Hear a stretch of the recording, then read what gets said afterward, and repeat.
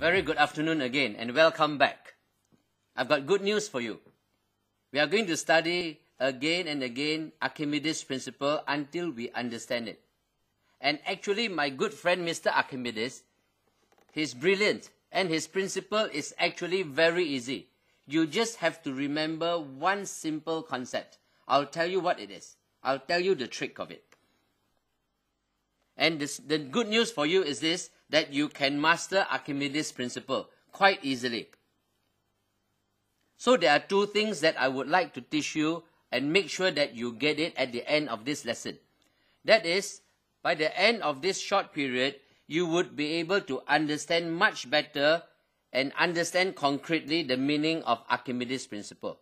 And secondly, you are able to answer calculation problems, solve it easily by making use of your concept of Archimedes' principle. Again, remember to do output revision. Do not memorize equations upon equations. All you have to know is to remember one thing on Archimedes' principle, and I will guide you through it in a minute. And the best way is to look at a question. All right? Now have a look at this diagram. It's a very, very simple diagram. In diagram, uh, first, second, and third diagram, you will notice that we have water. The only difference is that we have this object, this pyramid, the weights are different. Or rather, the masses are different, sorry. The first one has a mass of 1 kilogram. The second one has a mass of 2 kilograms. The third one has the mass of 3 kilograms. But we are given in the question that the volume is the same in each case. So the volume of the pyramid in diagram 1, diagram 2, diagram 3, they are all the same. They have the same volume. So that is a very important in piece of information for us. Okay, let's read the question again. I have summarized for you. In the diagrams above, three solid metal pyramids, P, Q, and R, they are lowered into the water, completely immersed. The masses of PQR, they are 1 kg, 2 kg, and 3 kg respectively. But all the pyramids have the same volume, every one of them. So there is a buoyant force exerted on each of the pyramid. And we call it FP, FQ, and FR. So which of the following statements is true? FP equals to FQ equals to FR. Number two, FP smaller than FQ smaller than FR. Number three, FP bigger than FQ bigger than FR. Okay. So let us now look at the question again and we answer it. In my last lesson, I remember asking you to write down a very important concept in Archimedes' principle. Let us recall, let us uh, revise it again. All right? Now, in Archimedes' principle, very plainly put, it is this. Remember that the buoyant force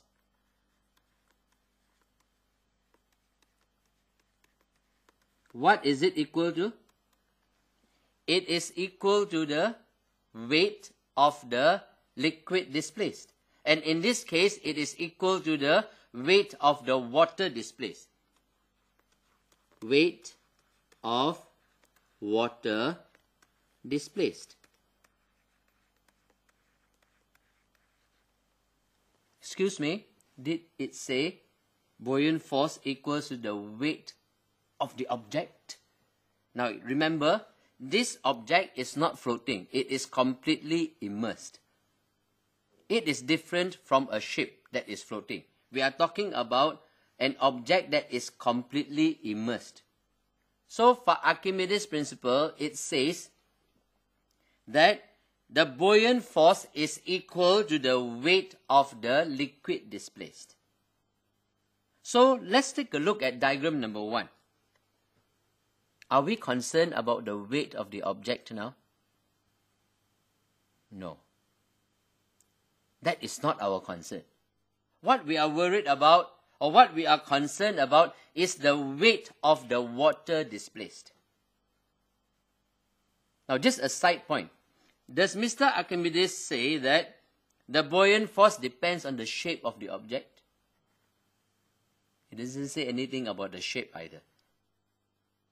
Does Mr. Archimedes say something about it depends, the buoyant force depends on how deep the object immersed into the water? No such thing either. All he says is the buoyant force is equal to the weight of the fluid displaced. So just remember this one simple concept. So are we concerned about the fact that the second pyramid has a mass of 2 kg? Does that bother you? It should not. The third one, 3 kilograms. Even if it is 30 kilograms or 300 kilograms, we are not concerned about that. We are not worried about that. But what are we worried about? Weight of water displaced. Now, in this case, we are told that the volume of all the pyramids are the same. Ah, so it means that the water displaced, the volume is the same in each case. And since the volume of the water displaced is the same, it means that the mass of the water displaced is the same. It also means that the weight of the water displaced is the same. Now, once you have got this, now let me just summarize for you over here. Alright, so in this case, we are familiar with the diagrams already. Okay, let me just summarize it in writing. So in each of the cases, we can say that the volume of water displaced is the same in each case. I just summarize it, I write down the word, it's the same. Alright? Meaning in each of the three jars of water. So since the volume of water displaced is the same, we know that the mass of the water displaced is the same.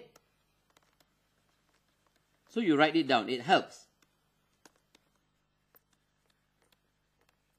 And since the mass of the water displaced is the same in each of the three cases, we can safely say that the weight ha, now is the crux.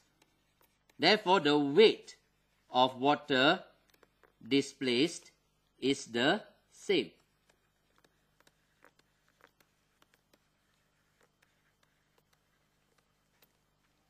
So this means that even though the third pyramid has a bigger mass and a bigger weight.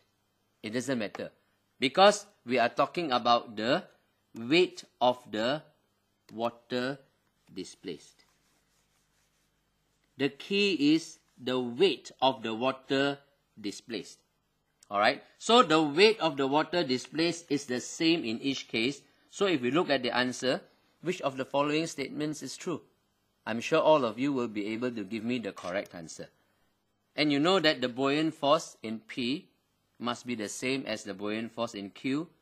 It must be the same as the buoyant force in R. Okay, so look at the diagram again, even as we end this lesson. So you know that the buoyant force Fp is equal to the buoyant force Fq. It is equal to the buoyant force Fr. Very simple, very straightforward. It is simple and straightforward as long as you keep your eyes focused on what Mr. Archimedes is saying. Don't be distracted about other factors, about other quantities.